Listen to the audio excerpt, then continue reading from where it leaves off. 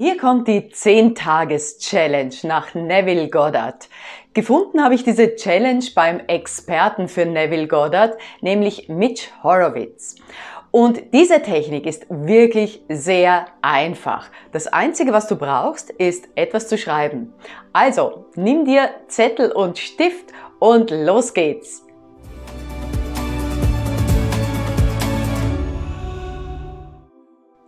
Hallo und willkommen auf meinem Kanal. Mein Name ist Susanna Belloni, ich bin spiritueller Coach, Bloggerin und Autorin und jetzt dreht sich alles um die 10-Tages-Challenge nach Neville Goddard.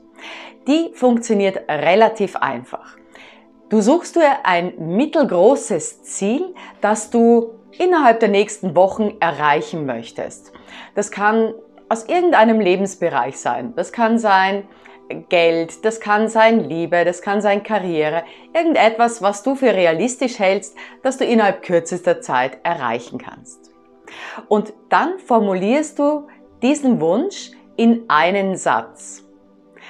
Und die Formulierung machst du wirklich wieder mit, äh, ich bin so froh und dankbar, dass ich das und das habe oder bekomme oder ähm, erlebt habe oder das auf meinem Konto ist, was auch immer.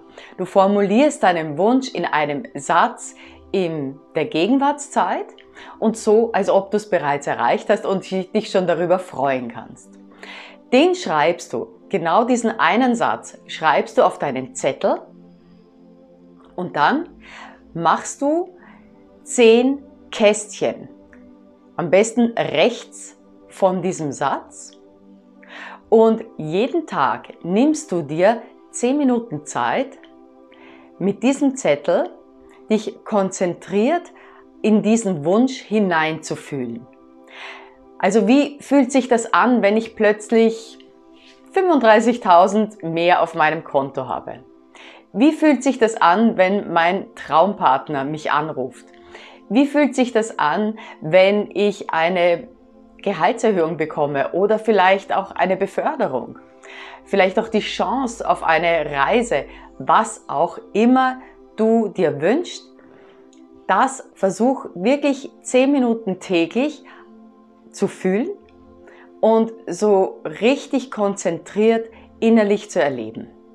Und danach kommt das Wichtigste. Danach hakst du ein Kästchen ab. Erledigt. Das war dein ganzer Job für den Tag. Und genauso machst du es zehn Tage hintereinander.